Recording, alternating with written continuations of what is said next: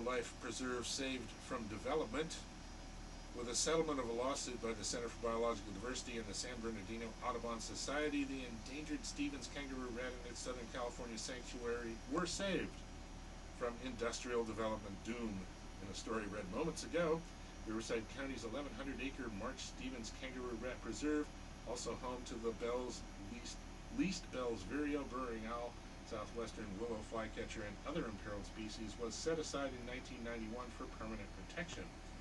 But despite federal officials themselves recognizing the preserve as critical to the survival and recovery of the Stephens kangaroo rat, confirmed by the center through government documents they obtained, in 2006 the U.S. Fish and Wildlife Service opened the area to commercial and industrial development in exchange for protection of lands some 25 miles away.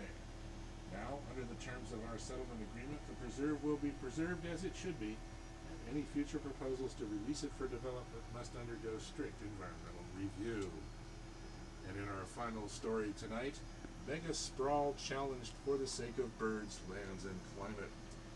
The Center for Biological Diversity and the San Bernardino Audubon Society have filed suit against Riverside County for its approval of the misleadingly named Villages of Lakeview and massive development of 11,350 homes and 500,000 square feet of commercial space for remote lands bordering on the San Jacinto Wildlife Area.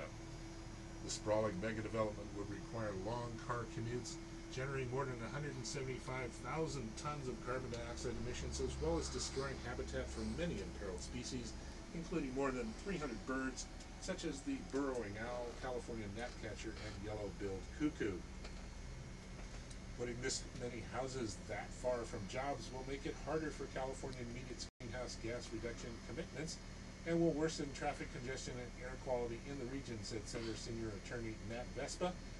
We need smart growth and livable communities, not dumb growth miles from jobs. The suit was one of a series brought by the center to reduce greenhouse gases from new development through the California Environmental Quality Act. And for more information about all of these stories, you can go to www.biologicaldiversity.org.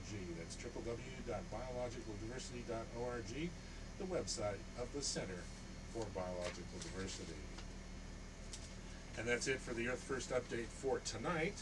The Earth First Update is presented every Thursday evening at 9 o'clock here on Free Radio Santa Cruz. If you'd like to download a previously recorded uh, podcast or listen to a podcast of a previous Earth First Update, you can do so at the following webpage, www.h2opodcast.com. That's www.h, the number 2, O, podcast.com. When you get there, click on Earth and then select Earth First Radio. And we thank the folks at H2O Podcast for recording and archiving these Earth First updates for us. The Earth First Update is a production of Earth First Radio and is produced in the studios of Free Radio Santa Cruz. And we thank you for listening and tune in next Thursday evening at 9 o'clock for another Earth First Update. And now, of course, it's time to get back to the music.